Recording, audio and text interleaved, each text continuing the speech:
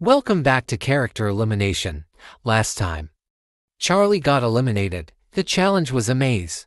Rigby was the one who found the exit, meaning the Laughmasters won. And the video game developers are up for elimination, so let's see who's eliminated. Okay developers, it's time to show the votes. Wario had an immunity, so he is safe.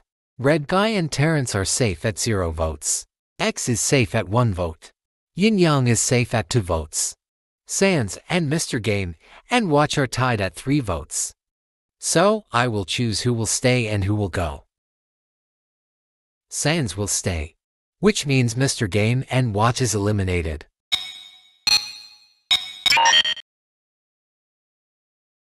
Alright. Your final challenge before the merge is going through an inflatable obstacle course.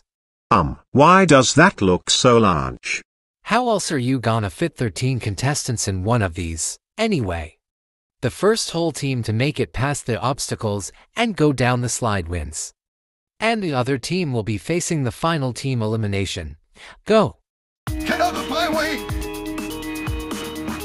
I'm stuck! Help!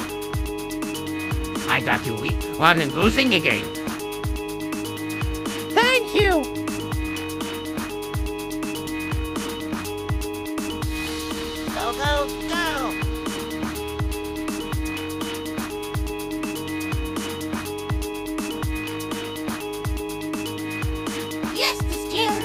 Climb up.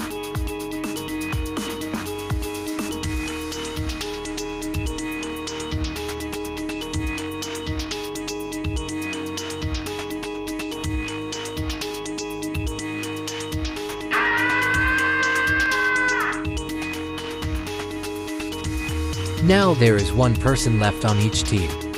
If Terrence makes it first, the developers win. If Rigby makes it, the masters win. Yes! I'm almost at the top after so many attempts!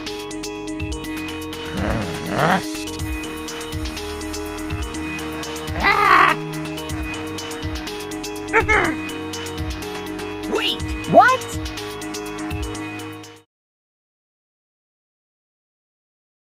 Well, since all of the video game developers completed the course, the video game developers are going to the merge, which means the Laughmasters are up for elimination for the last time.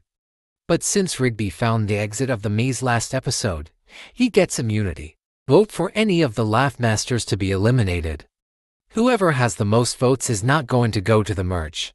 Oh, and before I go, I got a surprise. Someone is going to join the game next episode. Let's see how many letters the person's name has. Well, they have four letters in their name. I will put a poll on the possible debtors as well, so feel free to guess. See you next episode.